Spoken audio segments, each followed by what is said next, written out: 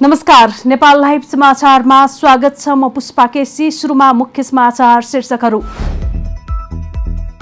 विद्यालय शिक्षा विधेयकका प्रावधानलाई लिएर आन्दोलनरत राहत शिक्षक तथा विद्यालय कर्मचारी र सरकारबीच सहमति माग सम्बोधन गर्ने सहमतिपछि आन्दोलनका कार्यक्रम स्थगित। चिकित्सकको सुरक्षाका लागि अस्पतालमा हतियार सहितका सुरक्षाकर्मी राखिने स्वास्थ्य मन्त्री मोहन बहादुर बस्नेतको भनाई चिकित्सकमाथि हातपात गर्नेलाई कारवाही गर्न संसदीय समितिको निर्देशन। चार वर्ष अघि नै एडभान्समा घन्टी बजाएर सचेत गराएकाले सोच्न पुराना दललाई रवि लामिछानेको चेतावनी सहमतीय सरकार बनाउन अपिल आफ्नो पार्टीले प्रतिपक्षी मोर्चा सम्हाल्ने उनले पाकिस्तानको बलोचिस्तान प्रान्तको एक मस्जिद बाहिर विस्फोटनमा कम्तीमा पचास जनाको मृत्यु सङ्कटकाल घोषणा खैबर पख्तुनख्वा प्रान्तको पेसावर सहर नजिकै अर्को मस्जिद बाहिर पनि विस्फोट। र देशमा अवसर नपाएको भन्दै पछिल्लो समय विदेश पलायन हुन थाले फुटबलर। अस्ट्रेलिया गए राष्ट्रिय टिमका फरवार्ड विमल घरती मगर नेपाल सुपर लिगको सम्झौता रद्द। अब समाचार विस्तारमा। विद्यालय शिक्षा विधेयकका प्रावधानलाई लिएर आन्दोलनरत राहत शिक्षक तथा विद्यालय कर्मचारी र सरकारबीच सहमति भएको छ। संघीय संसदमा विचाराधीन रहेको विद्यालय शिक्षा सम्बन्धी विधेयकका कतिपय प्रस्तावित प्रावधानप्रति असहमति जनाउँदै राहत शिक्षक र विद्यालय कर्मचारीहरू असोज तीन गतेदेखि आन्दोलित भएका थिए। सरकारले आफूहरूका माग सम्बोधन गर्ने सहमति जनाएको राहत शिक्षक सङ्घर्ष समितिका अध्यक्ष खेमराज अधिकारीले जानकारी दिए। सरकारले मागहरू सम्बोधन गर्ने सहमति जनाएपछि आफूहरूले आन्दोलनका कार्यक्रम स्थगित गरेको अधिकारीले जानकारी दिएका छन्। प्रहरी वरिष्ठ उपरीक्षक योगबहादुर पालले यौन हिंसा गरेको छानबिन समितिले निष्कर्ष निकालेपछि त्यसबारे प्रहरी प्रधान कार्यालयले स्पष्टीकरण सोधेको छ। प्रहरी प्रधान कार्यालयका प्रहरी नायब महानिरीक्षक सुरेन्द्र मैनाली नेतृत्वको छानबिन समितिले एसएसपी पालले यौन हिंसा गरेको निष्कर्ष निकाल्दै प्रतिवेदन पेश गरेपछि त्यसबारे एसएसपी पाललाई स्पष्टीकरण सोधिएको हो।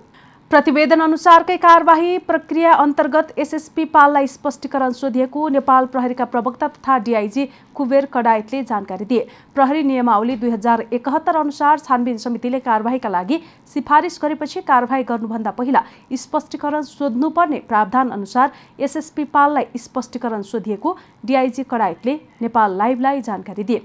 स्पष्टीकरण नसोधी सिधै कारवाही गर्न प्रहरी नियमावलीले दिँदैन। सोही कारवाहीको प्रक्रिया अनुसार उहाँलाई स्पष्टीकरण सोधिएको हो।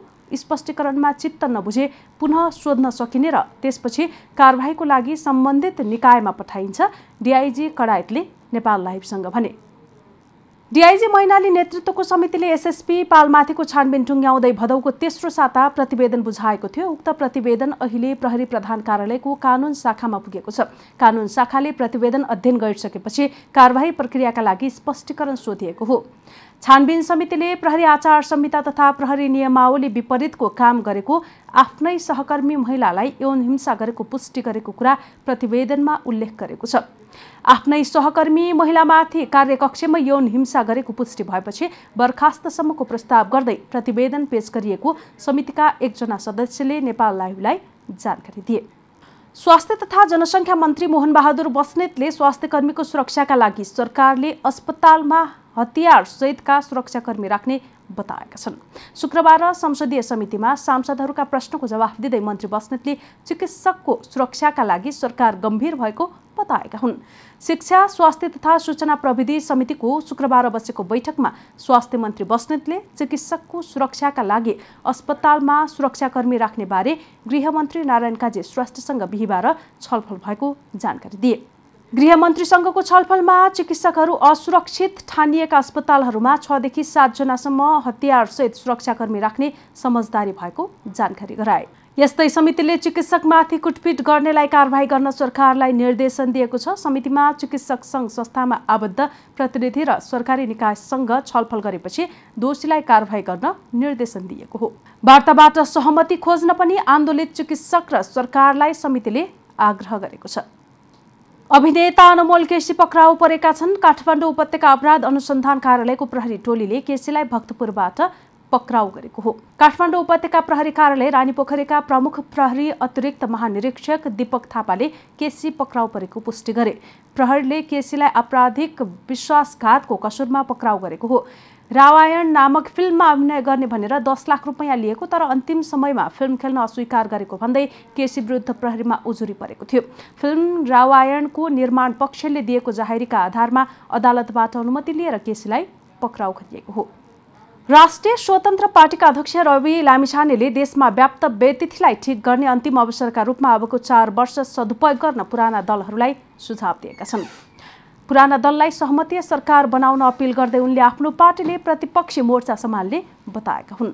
लामिछानेले शुक्रबार सामाजिक सञ्जाल फेसबुकमा लेखेका छन् अबको चार वर्ष तपाईँहरू सबै मिल्नुहोस् देशका तमाम समस्या सुल्झाउन हामी बाहेकको सहमतीय सरकार बनाउनुहोस् हामी प्रतिपक्षी मोर्चा सम्हाल्छौँ। यो अवसरको सदुपयोग गरेर तेत्तिस वर्षमा गरेका गलत काम सच्याउने हो कि मिलेमतो गरेर तिनलाई ढाकछोप गरी प्रमाण लुकाएर थप अपराधीहरूलाई छुटाउने बचाउने हो त्यो तपाईँहरूको जिम्मा।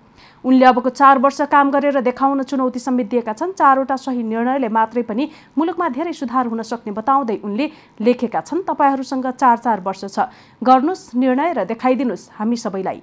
राजनीतिको एउटा सटर त बन्द हुनैपर्छ हजुर कि तपाईँको कि हाम्रो? चार वर्ष अघि नै एडभान्समा घन्टी बजाएर सचेत गराएको छु। सोच्नुहोला। हामी नेपाल लाइभ समाचारमा छौँ। अब अन्तर्राष्ट्रिय समाचार।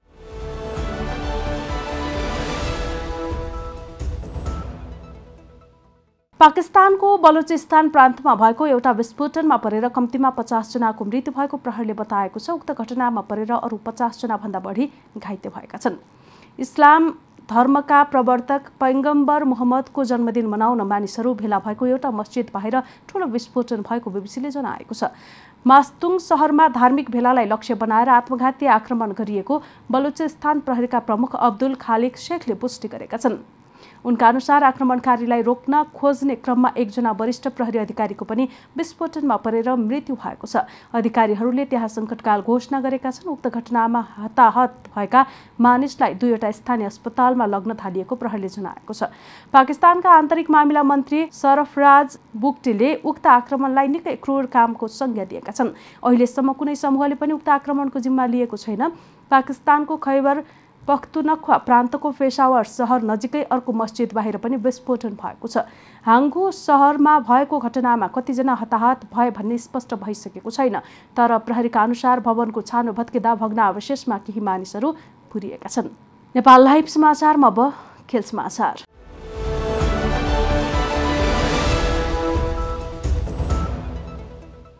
नेपाली राष्ट्रिय टिमका फरवार्ड विमल घरती मगर अस्ट्रेलिया पलायन भएका छन्। देशमा अवसर नपाएको भन्दै पछिल्लो समय एकपछि अर्को फुटबलरहरू विदेश पलायन भइरहेका छन्। नेपाल सुपर लिगका लागि ललितपुर सिटी एफसीका लागि मार्के खेलाडीका रूपमा अनुबन्ध भइसकेका विमल सम्झौता रद्द गर्दै अस्ट्रेलिया उडेका हुन्। विमल शुक्रबार बिहान काठमाडौँको त्रिभुवन अन्तर्राष्ट्रिय विमानस्थलबाट दुबईको फ्लाइट मार्फत विदेश उडेका छन्। दुबईमा केही दिन बसेर उनी त्यहाँबाट अस्ट्रेलिया जाने बताइएको छ। एन्फा एकाडेमीका उत्पादन विमल पछिल्लो समय भने आफ्नो लय कायम गर्न सङ्घर्षरत थिए। उनले सन् दुई हजार तेह्रको साफ च्याम्पियनसिपमा पाकिस्तान विरुद्धको खेलमा डेब्यू गोल गरेका थिए। विमलले नेपालसँगै भारत र मालदिप्सका क्लबबाट पनि खेल्दै आएका थिए। पछिल्लो समय अन्य खेलाडी पनि विदेश पलायन भइरहेका छन्। विमल अघि अभिषेक रिजाल दिनेश राजवंशी सुमन अर्याल निशान खड्का मिक्षेन तामाङ हेमन्त थापा मगर नितिन थापा तेज तामाङ दीपक सिंह ठकुरी विमल राणा रेजिन सुब्बा पूजन उपरकोटी रवि पासवान लगायतका खेलाडीहरू विदेश पलायन भएका थिए। नेपाल लाइभ समाचार सकिएको छ। समाचारको अन्त्यमा मुख्य समाचारका शीर्षकहरू फेरि एकपटक। विद्यालय शिक्षा विधेयकका प्रावधानलाई लिएर आन्दोलनरत राहत शिक्षक तथा विद्यालय कर्मचारी र सरकारबीच सहमति माग सम्बोधन गर्ने सहमतिपछि आन्दोलनका कार्यक्रम स्थगित। चिकित्सकको सुरक्षाका लागि अस्पतालमा हतियार सहितका सुरक्षाकर्मी राखिने स्वास्थ्य मन्त्री मोहन बहादुर बस्नेतको भनाई चिकित्सकमाथि हातपात गर्नेलाई कारवाही गर्न संसदीय समितिको निर्देशन। चार वर्ष अघि नै एडभान्समा घन्टी बजाएर सचेत गराएकाले सोच्न पुराना दललाई रवि लामिछानेको चेतावनी सहमतीय सरकार बनाउन अपिल आफ्नो पार्टीले प्रतिपक्षी मोर्चा सम्हाल्ने उनले पाकिस्तानको बलोचिस्तान प्रान्तको एक मस्जिद बाहिर विस्फोटनमा कम्तीमा पचास जनाको मृत्यु सङ्कटकाल घोषणा खैबर पख्तुनख्वा प्रान्तको पेसावर सहर नजिकै अर्को मस्जिद बाहिर पनि विस्फोट। र देशमा अवसर नपाएको भन्दै पछिल्लो समय विदेश पलायन हुन थाले फुटबलर। अस्ट्रेलिया गए राष्ट्रिय टिमका फरवार्ड विमल घरती मगर नेपाल सुपर लिगको सम्झौता रद्द। नेपाल लाइभ समाचार आज यति नै हाम्रा अन्य कार्यक्रम Nepal लाइभको Facebook page YouTube channel Twitter र हाम्रो वेबसाइट नेपाल लाइभ डट कममा पढ्न र हेर्न सक्नुहुनेछ। नमस्कार।